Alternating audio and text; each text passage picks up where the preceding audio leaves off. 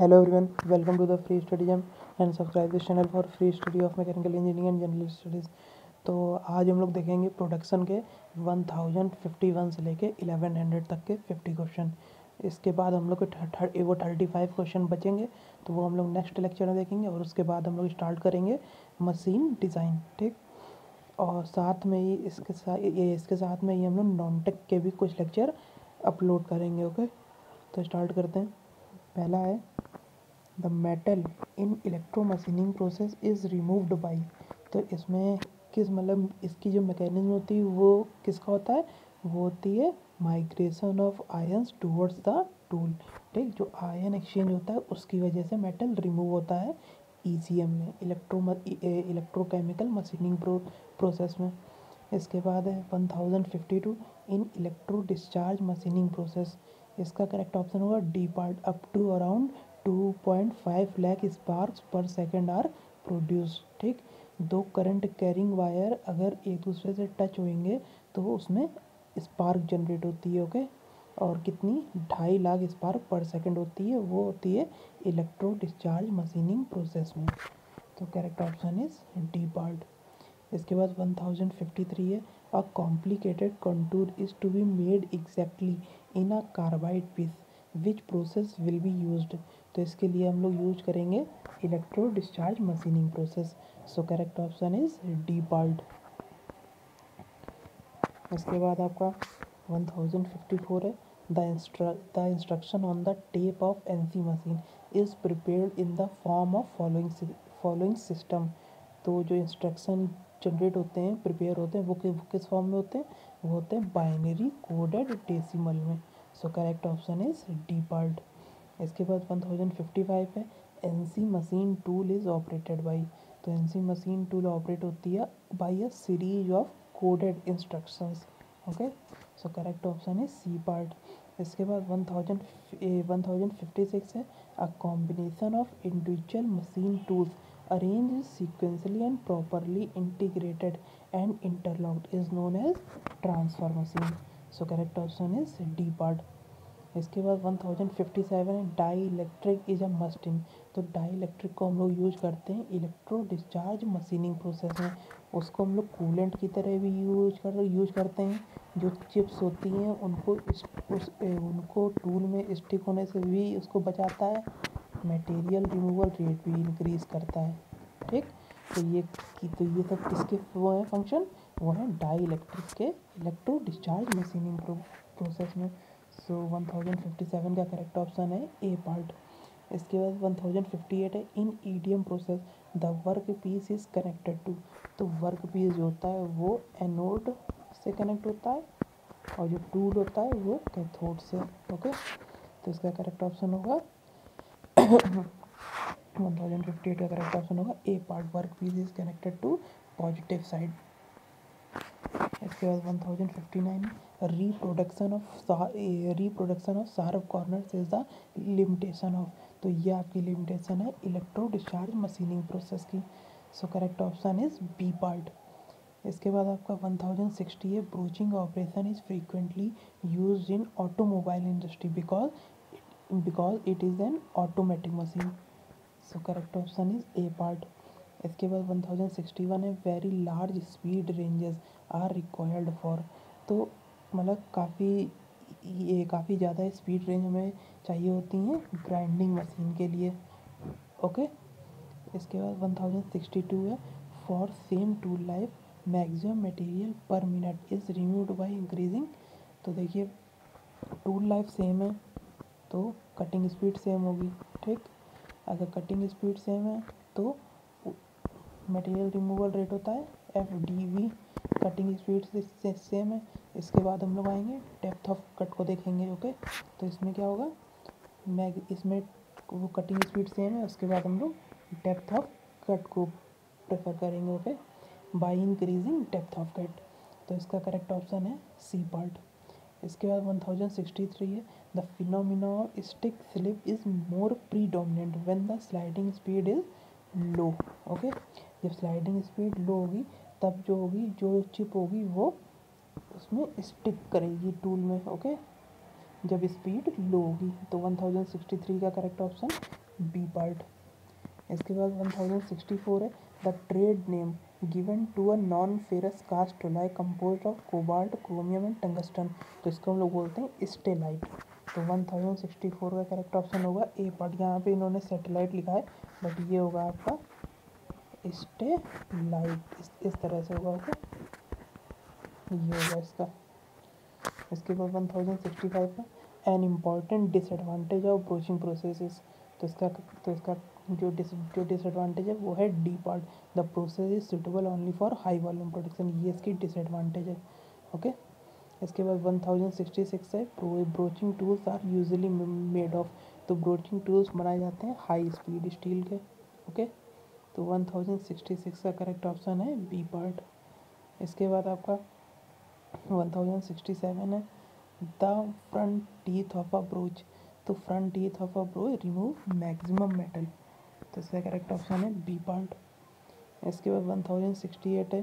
for proper broaching operation at least following number of teeth should be in the work at a time तो proper broaching operation के लिए तीन teeth को हमेशा tool से connect होना, ये जो वर्क पीस है, उस पर कनेक्ट होना चाहिए, ठीक? तो वन थाउज़ेंड सिक्सटी एट का करेक्ट ऑप्शन है सी पार्ट इसके बाद वन थाउज़ेंड सिक्सटी नाइन है a gear has to be subjected to shock and vibration following type should be selected तो इसके लिए हम लोग यूज़ करते हैं gear with stub teeth okay तो one thousand one thousand sixty nine का करेक्ट ऑप्शन है डी पार्ट इसके बाद वन थाउज़ेंड सेवेंटी है thin gears are from sheet metal can be produced by तो थिन मेटल जो होते हैं, वो सीट मेटल से हम लोग प्रोड्यूस कर, वो जो थिन गियर होते हैं, उनको हम लोग प्रोड्यूस करते हैं by stamping so one thousand seventy का करेक्ट ऑप्शन है ई पार्ट इसके बाद वन थाउज़ेंड सेवेंटी वन है which of the following is gear finishing operation तो इसमें से गियर सेविंग जो है, वो गियर फिनिशिंग प्रोसेस है ओके तो देखिए, इसमें देखिए दो टाइप के होते हैं जो ऑपरेशन होते हैं, वो दो टाइप के एक होता है फॉर्मिंग गियर मैन्युफैक्चरिंग प्रोसेस दो टाइप के होते हैं, एक होता है फॉर्मिंग और दूसरा होता है मशीनिंग फॉर्मिंग में आपके आते हैं casting sintering injection moulding extruding cold drawing stamping performing forging ठीक? ये सब है आपके फॉर्मिंग प्रोसेस इसके बाद इसके बाद आते हैं मशीनिंग मशीनिंग में दो टाइप के आते हैं. एक होता है रफिंग और एक होता है फिन एक होता है फिनिशिंग रफिंग में आपके आते हैं form milling rack generation gear shaping hobbing ये सब होते हैं रफिंग मशीनिंग प्रोसेस इसके बाद जो फिनिशिंग में आते हैं, वो आते हैं आपके सेविंग ग्राइंडिंग बर्निशिंग लैपिंग और होनिंग ठीक? तो ये होगा फिनिशिंग प्रोसेस ओके इसके बाद वन थाउज़ेंड सेवेंटी टू है which of the following is not a production process तो इसमें आप देखिए, जो आपकी मिलिंग है, वो क्या, वो आपका मशीनिंग प्रोसेस है, वो मेटल को रिमूव करेगा, वो प्रोडक्शन प्रोसेस नहीं है। तो वन थाउज़ेंड सेवेंटी टू का करेक्ट ऑप्शन है ए पार्ट इसके बाद वन थाउज़ेंड सेवेंटी थ्री है hobbing process is not suitable for for for cutting following type of gear spur helical warm ये तीनों ही गियर हॉबिंग से बनाए जा सकते हैं, सिवाय बेवल के ओके तो वन थाउज़ेंड सेवेंटी थ्री का करेक्ट ऑप्शन है टी पार्ट इसके बाद वन थाउज़ेंड सेवेंटी फोर है formed milling operation of cutting gears can be use for cutting following type of gears तो मिलिंग ऑपरेशन से हम लोग ये चारों टाइप के गियर बना सकते हैं। तो इसका करेक्ट ऑप्शन होगा E part all of the above इसके बाद one thousand one thousand seventy five है gear forming operation can be performed by तो इसका करेक्ट ऑप्शन होगा gear forming operation can be can be perform by तो मैंने अभी आपको क्या बताया था? फॉर्म वो परफॉर्मिंग ए फॉर्मिंग ऑपरेशन कौन कौन से हैं? Casting sintering injection moulding extruding cold drawing stamping performing on और फोर्जिंग तो अब जबकि मिलिंग जो है, वो आपका रिमूव करेगा ब्रोचिंग भी रिमूव करेगा। तो इसमें क्या होगा? सेपिंग जो आपका सेपिंग प्रोसेस होगा, वो आपका गियर फॉर्मिंग प्रोसेस होगा। So correct option is A part इसके बाद आपका वन थाउज़ेंड सेवेंटी सिक्स है। Gear hobbing process is faster than milling because तो gear hobbing process faster than milling से क्योंकि क्योंकि जो गियर हॉबिंग में होता है, उसमें कई सारे टीथ एक टाइम पे वर्क वर्क वो लोग मतलब कई सारे टीथ एक टाइम पे वर्क करते हैं ओके तो इसका हुआ E part several teeth cut at a time इसके बाद वन थाउज़ेंड सेवेंटी सेवन है। Gear cutting with a hob does not involve the following motions तो इसमें देखिए gear cutting with hob does not involve the following motion indexing of the work indexing हो जो indexing होती है वो gear hobbing में हो, होती ही नहीं है। तो इसमें पहला वाला तो गलत हो गया। ठीक? तो इसका करेक्ट ऑप्शन होगा A part indexing of the work इसके बाद 1078 gear shaper can be use to cut following type of gear gear shaper से हम लोग सारी टाइप के गियर बना सकते हैं ओके तो इसका करेक्ट ऑप्शन होगा ई पार्ट इसके बाद 1079 में milling method for gear cutting finds application when following types of gear are to be cut तो मिलिंग से हम लोग एक्सटर्नल इंटरनल हेलिकल कंसीडर तो इससे हम लोग कई सारे मतलब कि इससे हम लोग सारे गियर को मतलब कि मशीनिंग कर सकते हैं, ठीक? तो इसका करेक्ट ऑप्शन होगा considerable variety so correct option है डी पार्ट इसके बाद वन थाउज़ेंड एट्टी है। Which of the following can hold the work locate the work and guide the drill at the desired position देखिए, जो zig होता है, उसमें होल्ड कर सकते हैं लोकेट कर सकते हैं गाइड कर सकते हैं। और जो और जो जो होता है फिक्सर होता है, उसमें सिर्फ़ लोकेट और होल्ड होल्ड कर सकते हैं, ठीक? तो वन थाउज़ेंड एट्टी का करेक्ट ऑप्शन होगा डी पार्ट इसके बाद one thousand eighty one the purpose of tumbling is to तो purpose of tumbling is to clean the surface of small parts okay so correct option is A part इसके बाद one thousand eighty two है। Typical locating devices for cylindrical job use in jigs and fixture तो cylindrical job को hold करने के लिए हम लोग यूज़ करते हैं वी ब्लॉक को। So correct option is B part इसके बाद वन थाउज़ेंड एट्टी थ्री है। The important property to be considered in the selection of a suitable material for the manufacturing of locating pins and drill jigs use in and fixture तो उसमें जो important property हम लोग consider करते हैं, वो होती है wear resistance okay so correct option is D part इसके बाद इसके बाद वन थाउज़ेंड एट्टी फोर है tool life in the case of grinding wheel is the time दो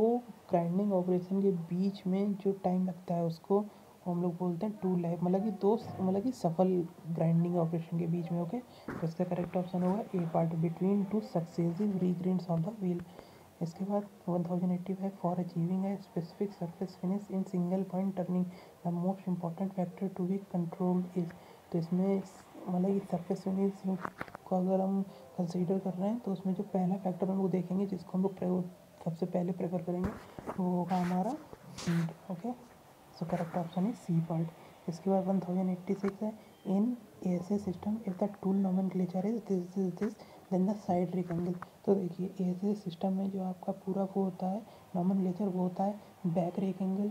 side rake angle and relief angle side relief angle and cutting edge angle side cutting side cutting edge angle और last में nose radius ठीक? इसने हमसे side rake angle पूछा है तो second वाला होगा six degree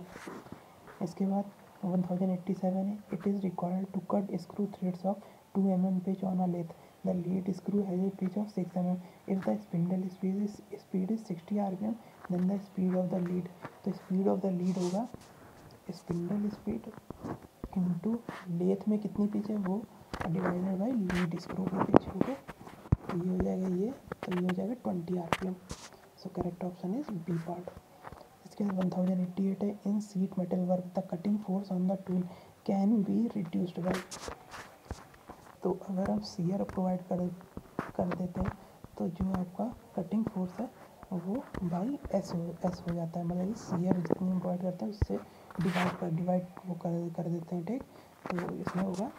providing shear angle on the tool so correct option है सी पार्ट इसके बाद वन थाउज़ेंड एट्टी नाइन है। In order to get uniform thickness of the plate by ruling process, one provides तो uniform thickness मतलब कि obtain करने के लिए हम लोग कैम्बर प्रोवाइड करते हैं रूल्स में ओके तो वन थाउज़ेंड एट्टी नाइन का करेक्ट ऑप्शन है ए पार्ट इसके बाद वन थाउज़ेंड नाइन्टी है which one of the following manufacturing process require the provision of provision of cutters तो देखिए, जो एक्सेस मेटल होता है, वो चला जाता है, वो मतलब कि वो फ्लो हो जाता है कटर्स में। तो वो फ्लैशिंग उससे ईजी हो, हो होती है ठीक? तो हम लोग गटर्स प्रोवाइड करते हैं फोर्जिंग में okay so correct option is A part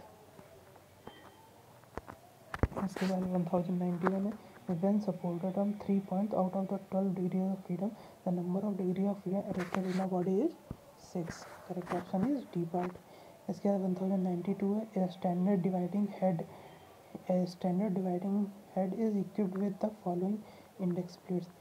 तो ये तीन प्लेट दी गई उनमें इतने फुल सर्किल हैं। For obtaining twenty four division on with by simple तो सिंपल इंडेक्सिंग तो नंबर ऑफ़ टर्म्स कितने होंगे फोर्टी बाई एन एन कितना कितना डिवीज़न है? ट्वेंटी फोर तो ये कितना हो जाएगा? Ten by six ten by six मतलब फाइव बाई थ्री फोर या फिर टू बाई थ्री तो जिस प्लेट में तीन के डिवीज़न के फोर होंगे उस प्लेट को हम लोग यूज़ कर सकते हैं। तो पहले में एट्टीन है, दूसरे में ट्वेंटी वन है, तीसरे में थर्टी नाइन है। तो हम लोग इन तीनों में से किसी भी प्लेट को यूज़ कर सकते हैं। तो करेक्ट ऑप्शन है डी पॉइंट